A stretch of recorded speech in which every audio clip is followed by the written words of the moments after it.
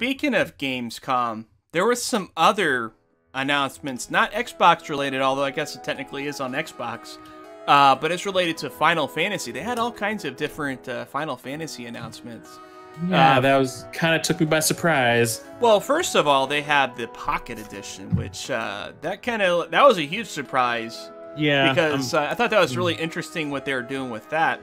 Uh, so essentially, the Pocket Edition, at least what it looks like to me, is kind of like uh, they're they're taking visuals similar to say World of Final Fantasy.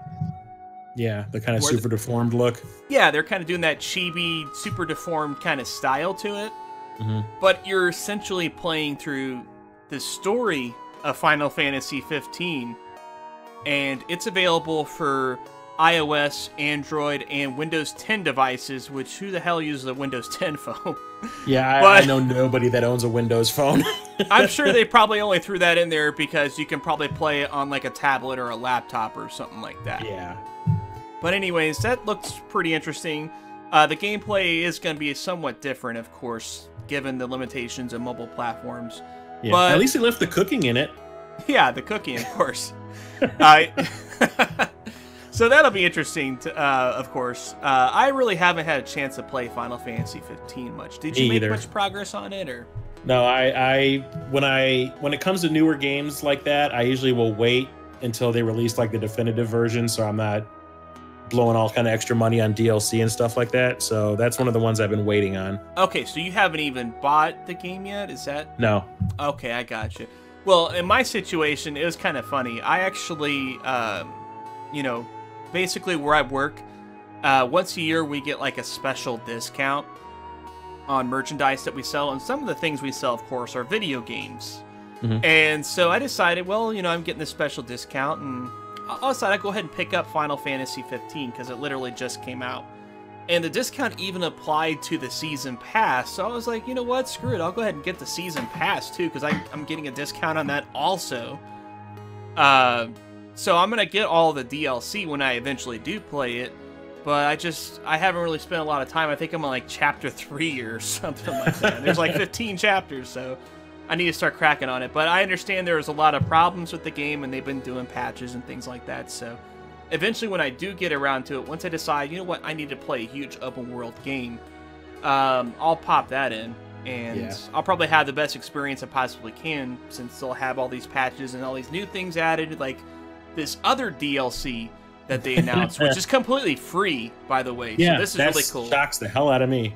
Yeah. So um, you were actually the one that told me about this DLC. Cause so tell us all about it. Yeah, it's called the Assassins Festival.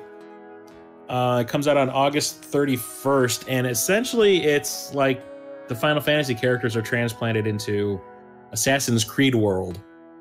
yeah, that's really interesting. So like, it, it, it, I've seen the gameplay trailers. Yeah, And it actually has like these segments where it actually uses the mechanics of Final Fantasy 15 yeah, the climbing of the to climb the and- buildings and stuff like that. That's really interesting. I don't, I, I don't know what to think of that. I mean, I can understand. Like, I've, I saw some, some uh, chat about it, and people were like complaining that like it's not what Final Fantasy is all about. Final Fantasy is not about climbing buildings and jumping down on people's heads with knives. But it's, I mean, do you really want to just be constantly doing the same thing in the game? To me, I mean, it sounds interesting, and it's, it's kind of cool that uh, Square actually got together with Ubisoft and worked something out to let this happen to begin with. right. It, you know, So- ooh, yeah. And you know, like a lot of people be like, "Oh, I wonder how much money Ubisoft threw at him, or something like that." Which I'm maybe it was sure the other way around. well, you know, I doubt it was either the case. You know, I'm sure that there's actually some mutual respect between the two companies. Um, you know, in fact, it wouldn't surprise me if at some point Ubisoft and Square Enix merge, because um, the cat's out of the bag when it comes to Ubisoft. Um, are you familiar with Viv- Vivendi?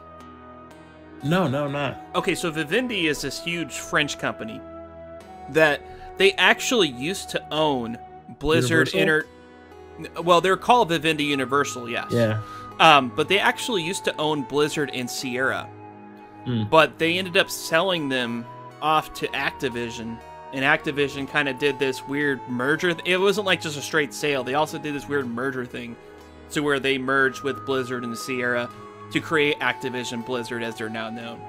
But um, Vivendi has apparently had a lot of interest in getting back into the whole video game thing, and they started buying out stock and things like that in Ubisoft.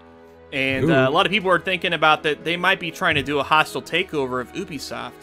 So um, I wonder if maybe this DLC might be a sign of times that maybe Ubisoft's trying to maybe warm up to some other uh, big publisher like uh, like Square Enix, for example. Buy us out first. Yeah, and maybe they're maybe they're thinking like that's kind of like the lesser of two evils, like work with a competing publisher rather than getting bought out by this huge multinational conglomerate. You know? Yeah. So- At least they might still have control over the kind of output they have. Right, and Square Enix has really demonstrated that uh, uh, that with Eidos because they kind of took over Eidos, and But they still let uh, them do their thing. yeah, for more or less. I mean, Yeah. Square Enix did do some kind of messed up stuff with like uh, Deus Ex: Mankind Divided, but Yeah. for the most part, they've done pretty good. Uh, with I mean, the Tomb Raider stuff, I mean, come on. oh yeah, exactly. And uh, so I wonder if that could be something going on, or if maybe I'm just reading too much into that. It could be a Uh, little bit of both. yeah. but um, you know, interesting enough, this wasn't even the first time that uh, Square Enix and Ubisoft have worked together on Final Fantasy DLC. Mhm.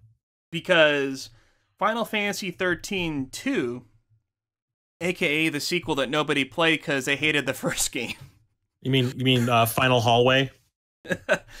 um, it had character DLC from uh, both Assassin's Creed and Mass Effect. So you were actually able to make uh, one of the characters in Final Fantasy 13 2 look like Ezio from Assassin's Creed 2. That's cool. Yeah, so uh, it's really interesting. Square Enix is uh, really uh, having fun with these DLC things, but they're Hey, not. I just love that you can see a chocobo running through Assassin's Creed world.